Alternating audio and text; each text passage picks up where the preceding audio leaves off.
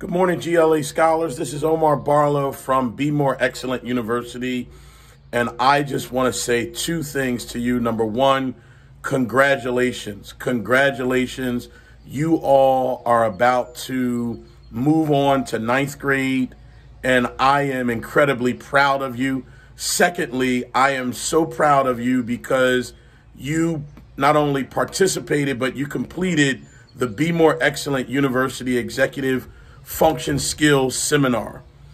In my book, you are all winners. You are all incredible, and you have something great. You have something powerful that needs to be shared with the world.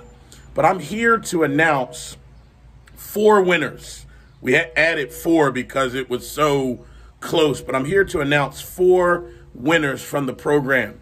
Coming in with our honorable mention, and when you receive a box, there will be there will be a check in the box written out to you. So coming in with the honorable mention is none other than Kayla Johnson. Kayla, you were fabulous. You did an incredible job. You always talk to me. You always ask questions. And most importantly, you did your work. Congratulations. For our third place winner, who will receive a $100 check and it's in your box, is Samari Butler. Samari, your exhibition, your presentation, it was absolutely incredible. I love you, brother, and I'm expecting great things from you.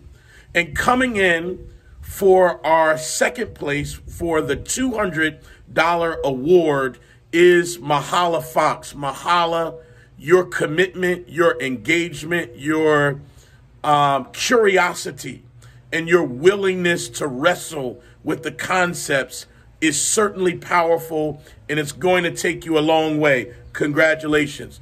And our number one uh, winner is none other than Professor Mahogany Johnson. Mahogany, your work was all that and then some. You are on your way to do great things. And I want to say, I love you. Congratulations and fulfill your mission. Congratulations to all of you that participated and um, completed the program.